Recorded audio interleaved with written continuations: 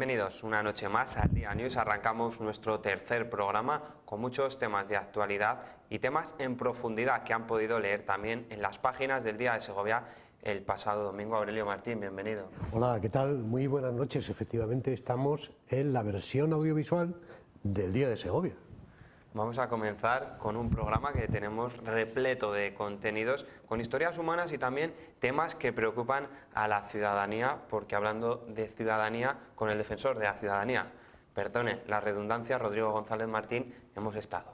Así es, hemos tenido este número pasado del domingo. Recordemos que en los kioscos se encuentra dos euros con una oferta editorial inigualable, con el AS, con el Core y con el Magazine cuatro eh, medios eh, en papel diferentes totalmente a dos euros en una bolsita de plástico y con muchas historias de periodismo. Y recogiendo el testigo de, de Daniel, efectivamente estuvimos hablando con el defensor de la ciudadanía después de que presentara la memoria anual en el Pleno del Ayuntamiento. Una memoria que tiene gran carga de profundidad ¿Por qué? Porque pone de relieve los problemas que tienen los ciudadanos en la ciudad, valga la redundancia también, y que además algunos afectan directamente a la administración municipal, que es la que precisamente ha decidido contar con esta figura como defensor del ciudadano de Rodrigo González Martín. Contar con una figura que posiblemente eh, tiene dos opciones. Una, hacerle caso y otra, como un jarrón chino de adorno y de mera eh, comparsa. Esperemos que le hagan caso y desde luego hay problemas eh, graves y sobre todo problemas relacionados con el ruido, las molestias, la invasión del espacio público, la suciedad y otro eh, sinfín de situaciones que complican mucho la convivencia en una ciudad como Segovia. El ruido retumba, ¿no? Creo que era la gestión municipal, me parece que era el titular de, que podíamos leer en el día de, Segovia. Hablando de ruido, uno de los 46 expedientes que se han abierto es en torno a, un músico callejero que, bueno, que parece que no, que no deja descansar a los vecinos. Bueno, para contar la, actividad eh, un poco en clave también desenfadada, como es este programa. Hoy hemos traído el testimonio de Rodrigo González Martín referente a dos eh, problemas muy concretos, como es un músico callejero. Eh, evidentemente no se, no se ofrecen datos ni se ofrecen lugares, sí que es un lugar céntrico. Y otro sonido que también molestaba a un vecino, a una vecina en este caso, como era el de un gallo, que al final parece que, bueno, pues se solucionó todo.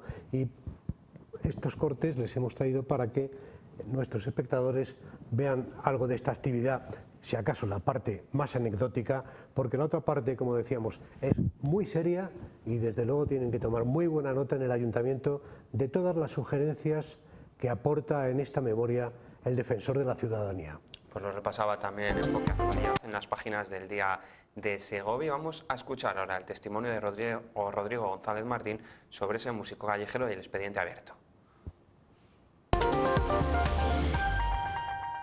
Ya no es una cuestión simplemente de, digamos, estética. Ya no es que a mí me guste o no me guste lo que interpreta una determinada persona con su instrumento, en fin, haciendo lo que le parezca oportuno en la calle. Eh, el problema está que hay que respetar, por supuesto, eh, unas determinadas normas, unos determinados criterios, unos determinados protocolos que debe establecer el ayuntamiento, en este caso era la Concejalía de Cultura, para conceder el correspondiente permiso eh, a que esa persona ocupe un espacio público que es de todos, eh, en beneficio privado, eh, sin que necesariamente tenga que molestar eh, a los ciudadanos. Ese era uno de los temas que abordábamos y también el otro, en clave de humor, en cuanto al sonido de ese gallo que también ha levantado las quejas de algunos ciudadanos de Segovia.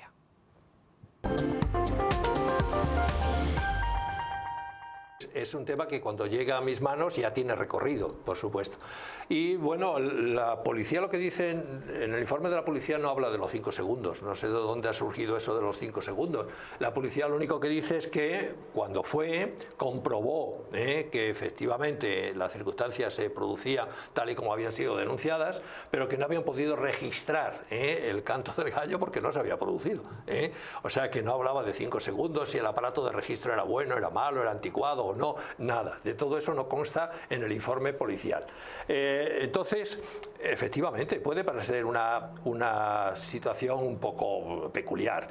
Incluso, incluso cuando este tema trascendió a las consabidas redes sociales, pues hubo todo tipo de respuestas, de comentarios, como suele ocurrir en las redes sociales, etcétera, etcétera.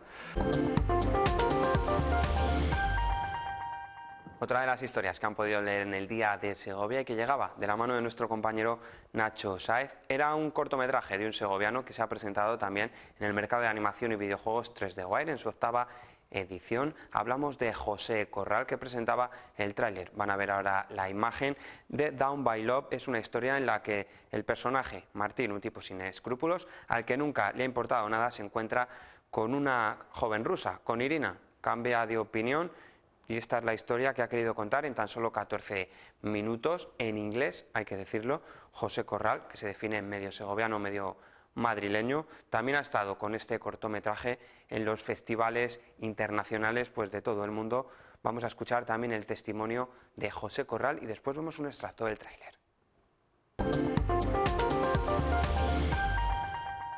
Eh, hice escenografía de ópera y estuve haciendo maquetas. Entonces dije, bueno, pues ¿por qué no hago maquetas, filmo maquetas y meto personajes animados dentro de maquetas? Y entonces me metí, en, me metí con, vamos, la, la, idea, la base técnica fue, fue esa experiencia de terminar Bellas Artes. La historia es que realmente estuve mirando en guiones que tenía escritos de antes y elegí este porque la historia ha funcionado muy bien con esta técnica pero el planteamiento fue hacer un cortometraje que tardase seis, meses en hacerlo y al final han sido tres años. pues, ¿sabes? Vas liando, vas aprendiendo, uy, he aprendido, lo voy a sofisticar un poquito más, y ahora voy a hacer este movimiento de cámara y era esto, ya tres años. Tres años de trabajo para solo 14 minutos de cortometraje, un minucioso trabajo el que ha realizado José Corral. Vamos ahora sí a ver un pequeño extracto de este cortometraje.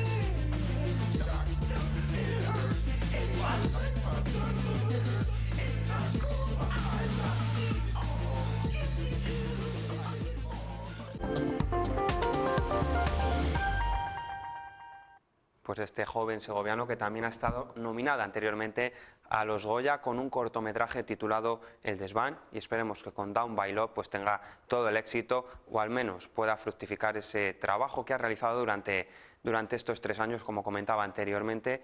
Y Aurelio Martín, otra de las secciones del Día de Segovia que llega de la mano de Orcajo tiene también un toque humorístico. Bueno, Pepe Orcajo, yo creo que para el Día de Segovia y varias cabeceras del día de Castilla y León, eh, bueno, pues es un lujo como humorista gráfico. Recordemos también su pasado en publicaciones nacionales, hasta incluso en aquella publicación en la cual, eh, junto con Moncho Alpuente, Antonio Madrigal y otros humoristas, pues eh, sacó aquí en, en Segovia el cochinillo feroz Pepe Orcajo eh, tiene su viñeta con muchísima gracia, por cierto, y también eh, muy incisivo porque analiza también la actualidad con sus lápices de, colores. Y luego tiene una sección que es un perfil de un personaje que en este caso es el músico Pablo Zamarrón que también estuvo en las páginas del Día de Segovia en la última página, en los eh, ciudadanos a, la última. Personajes a la última, es la última página del Día de Segovia. Están viendo ahí la imagen, esa pequeña viñeta que todos los días dedica Pablo Zamarrón, que ha presentado recientemente iconografía musical de la Catedral de Segovia, un estudio que le ha llevado 10 años. Bien decía en su presentación, lo tuvimos también aquí en 8 Magazine, en esta casa, en la 8 de Segovia. No ha sido un trabajo que ha realizado durante 10 años de forma continuada y sí que ha ido haciéndolo poco a poco. También resaltaba que lo conoció a través de un concierto de órgano de su amigo Javi Santos y a partir de ahí se quedó prendado y en la Catedral de Segovia se pueden encontrar instrumentos y muchas historias, Aurelio.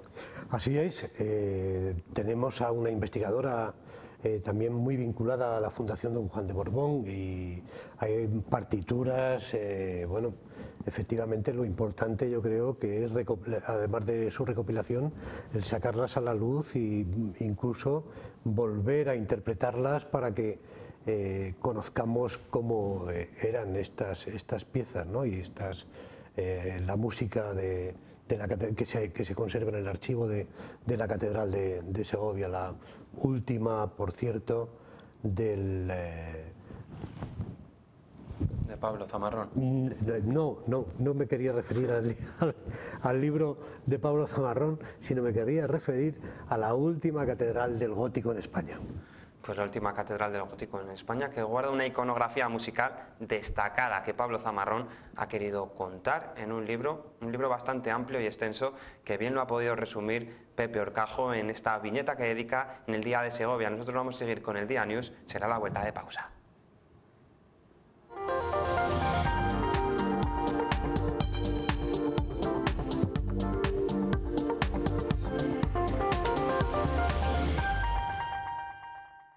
Continuamos con el Día News en este tercer programa. Si alguno se ha incorporado, estamos repasando todo lo que ha dado de sí esos reportajes, esos temas en de actualidad en profundidad que analizamos cada domingo en el Día de Segovia, porque todavía tenemos mucho tiempo, Aurelio, por delante para contar más historias. Así es, eh, nos quedan eh, muchas historias de las que hemos ofrecido en la edición en papel del Día de Segovia.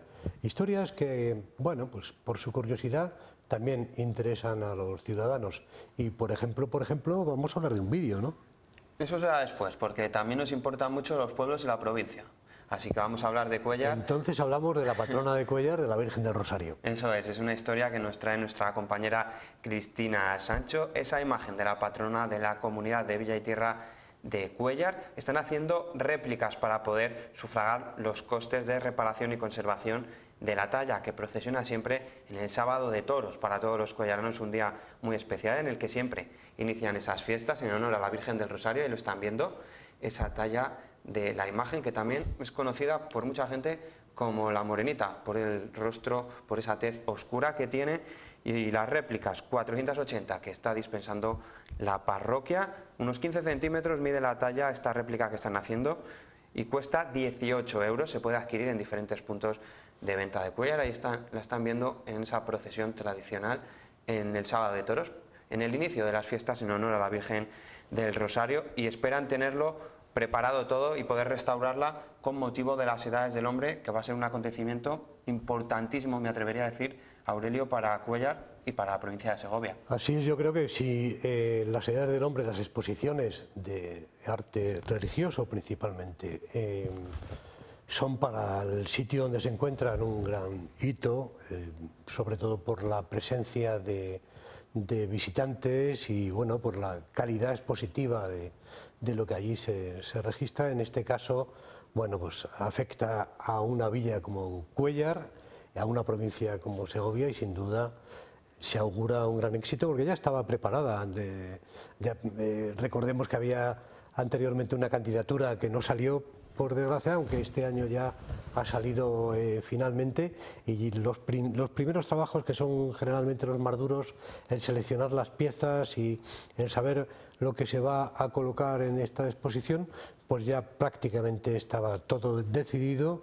El ayuntamiento ha buscado los eh, lugares, las instituciones de Segovia también se están volcando en ayudar a, Cuellar para que todo se celebre con eh, éxito y que se tenga un, eh, bueno, pues una gran acogida y desde luego es una oportunidad, insisto, por el número de visitantes y porque bueno, no deja de ser un acontecimiento cultural y no deja de ser también la oportunidad de ver piezas que son a veces eh, inéditas o que están eh, muy bien guardadas por, porque se encuentran en pequeñas ermitas que a lo mejor para eh, impedir el robo, en fin, son piezas de, origen religioso, piezas de la iglesia, que tenemos oportunidad de verlas y que en este caso pues está muy cerca a la exposición porque está en la provincia, está en Segovia. Pues de esta muestra de arte sacro también, la más importante, me atrevería a decir, a nivel internacional. Hablaremos también en las páginas del Día de Segovia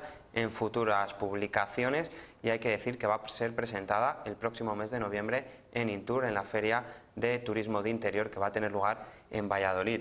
De lo que hablábamos anteriormente de ese vídeo viral también porque la viralidad es algo que cualquier cosa que se sube a Internet y empieza a despertar la atención de todos los usuarios, pues ya consigue esa viralidad y se extiende por todos los lugares del mundo.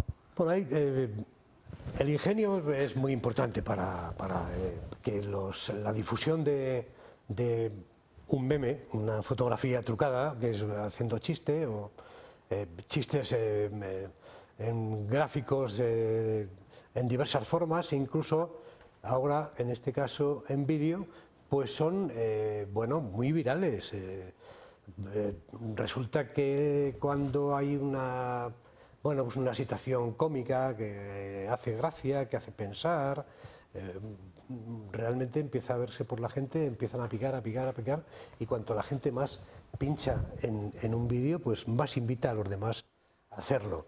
En este caso, el vídeo pues se refiere a un eterno problema de Segovia, que es eh, para los más patriotas que confundan la zona norte de la Sierra del Guadarrama con la Sierra madrileña. Y bueno, ahí está el resultado del vídeo viral, que se ha hecho viral, que vamos a presentar.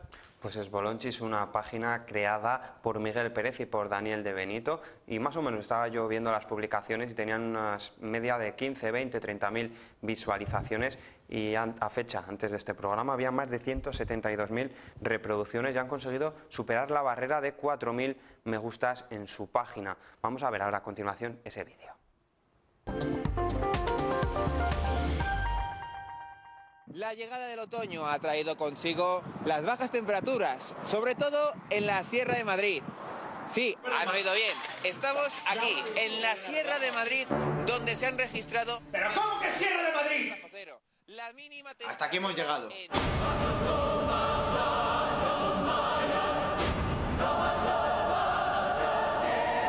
Sierra de Madrid, el lugar más frío de la provincia de... ¿Perdona, Majo? Dani, ¿dónde? ¿Cómo que Ciudad de Madrid? Bolivia, Segovia.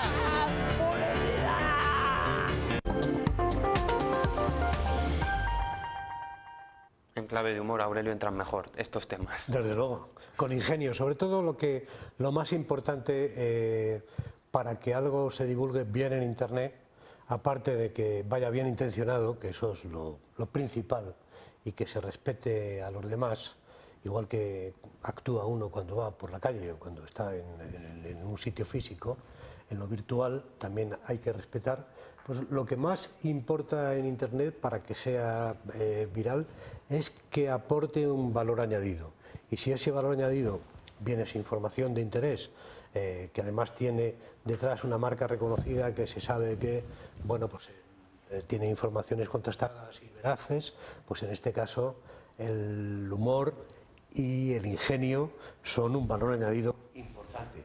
Y bueno, pues causan, eh, te sacan esa sonrisa de dentro y en este caso pues todo el mundo también tiene ganas de divertirse, ¿por qué no? Pues nuestro reconocimiento también a Miguel Pérez y a Daniel de Benito por esa página, la pueden seguir en Facebook, Bolonchis, y reírse también, pues como lo hemos hecho nosotros al ver este vídeo u otros vídeos que han publicado. Llega el momento en el que hacemos un pequeño hueco a fotografías que nos llaman la atención y nosotros publicábamos una foto en las páginas de deporte, nuestro compañero Nacho Saez, sobre el clásico de fútbol en la tercera división. Gimnástica segoviana visitaba al Real Ávila, conseguía la victoria 1-2, pero en la previa, contándolo desde otro punto de vista, veamos esa fotografía. Esa fotografía que nos ha costado muchísimo trabajo tratar de localizar eh, o identificar algunas de las personas. Eh, desde luego, eh, identificable al 100% Adolfo Suárez, que presidió ese partido de fútbol entre los eternos rivales de siempre, que es la gimnástica segoviana y el Real Ávila. Y sí que, eh, por ejemplo, vemos el primero que en sus pantallas es la primera persona que está a la izquierda de, en sus pantallas, es Feliciano Blázquez, que es abulense, fue parlamentario, diputado y impulsor y eh, padre político, podríamos decir, de personas del Partido Popular como José María Andar o Ángela Cebes, también aburense. Después hemos tratado de identificar algunas personas más, pero ha sido muy difícil porque estamos hablando de una fotografía realizada pues, a principios de los años 60 quizá.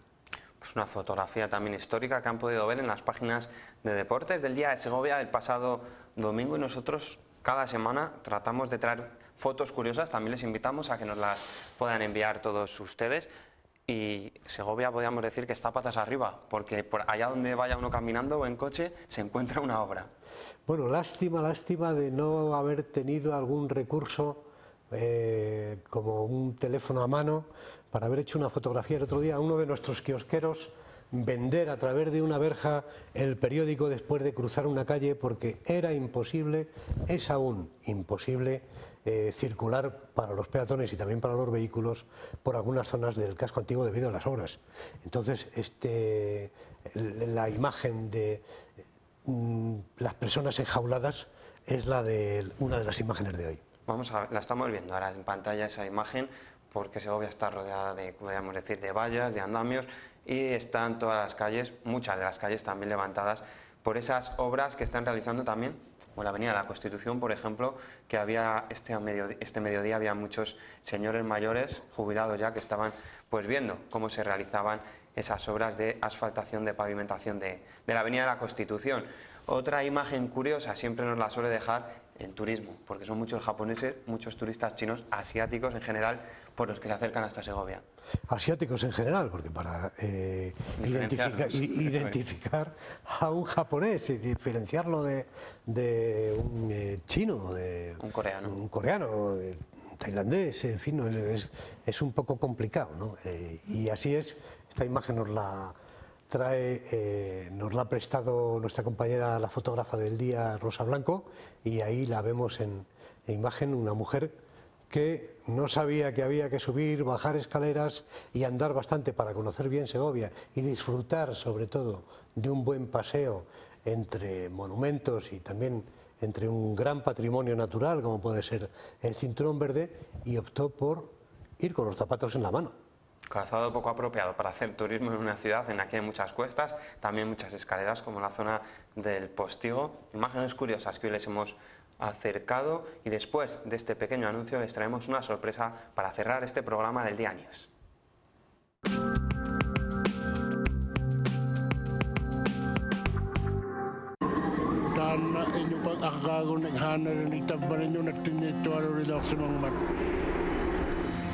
tong ma tago katak sa mga tanga ulok to sa kanil. Inyok pagdagalaw to kailan ko. Pagdagalaw to. Nanong doa may kapya sa kanil. E. Tisok to to ano ka e mo sa Tak tahu mga kikunong nga ulit ako. Tang na tikil lang man. Quadro.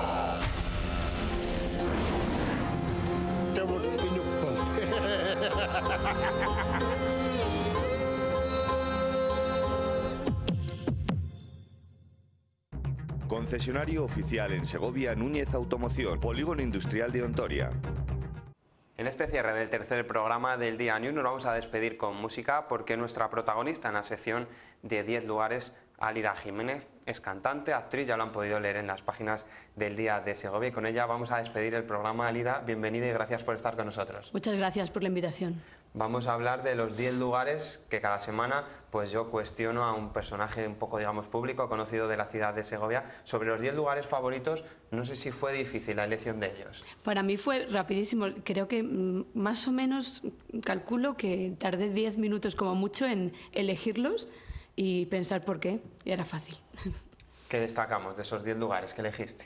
Bueno, el primero que dije y de, donde sale la foto es el clandestino, es el café bar clandestino, pues porque me unen muchísimas cosas. Eh, la amistad, el amor, bueno, muchísimas celebraciones que ha habido ahí y que espero que haya. Además, Aurelio, tenemos una cantante, también actriz, bueno, hace muchísimas más cosas, Alia. Bueno, yo la última vez que, la he visto, no sé si habré pasado eh, desapercibido por la calle, pero o no la haya visto por la calle, pero sí que es cierto que eh, aparecía con Guiomar en uno de los dos vagones donde interpretaban la, bueno, pues el eh, espacio de la vida de Antonio Machado, ese viaje de Madrid a Segovia que hoy hemos conocido precisamente que ha tenido 1.800 viajeros, era un viaje cada sábado, nada más, y ella acompañaba a Guiomar cantando pues, con letras de Antonio Machado. eso es. Eh, hemos estado pues, durante 12 sábados de, del verano. Así es, eh, desde el 9 de julio al 24 de septiembre. Eso es. Creo recordar.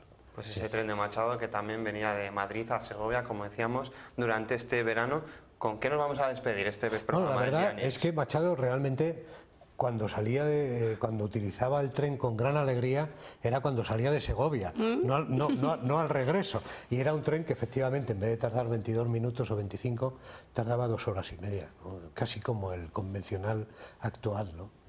Pues vamos a hablar, Oralida, de, te preguntaba con qué tema nos vamos a despedir hoy, qué nos vas a interpretar para despedir el programa de Dianis. Pues voy a hacer eh, una especie de homenaje a Cervantes. Eh, es una de las canciones que he musicado este verano para la visita teatralizada de Andanzas eh, de Cervantes en Segovia y que es un canto de Ovillejo y que dice así. Aurelio, muchísimas gracias. Nos vemos el próximo martes. Eh, nos vemos el próximo martes. Muchas gracias a todos ustedes por estar ahí y muchas gracias, Alida. Muchas gracias y que te veamos en otras ocasiones. Ojalá. Siempre está muy bien esto de cerrar con música. Genial, gracias. Con la música de Alida Jiménez nos despedimos y ya saben, donde haya una buena historia, ahí estará el Día de Segovia para contarla. Buenas noches.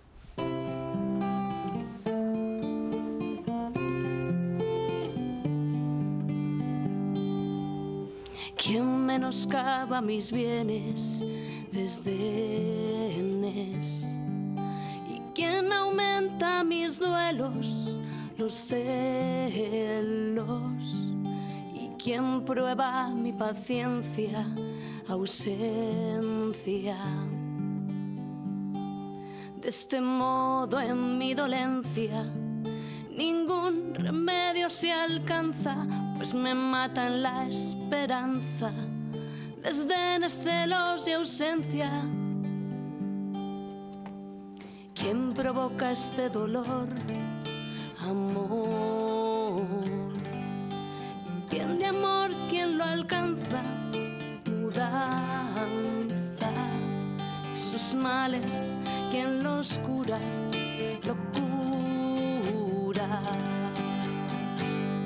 Este modo en mi pecado. Ningún remedio se alcanza, pues me matan la esperanza, desde celos y ausencia.